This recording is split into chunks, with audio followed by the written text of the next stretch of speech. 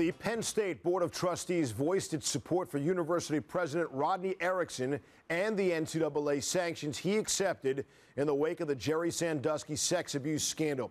Board Chairwoman Karen Peetz issued a statement on Sunday saying, in part, I absolutely support President Erickson and his decision to accept the NCAA consent decree as the only real option in the extraordinarily difficult circumstances and the choices we were presented.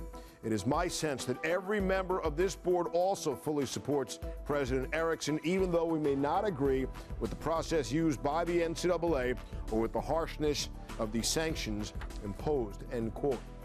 A trustee who last week filed an appeal with the NCAA has told his lawyer not to move forward.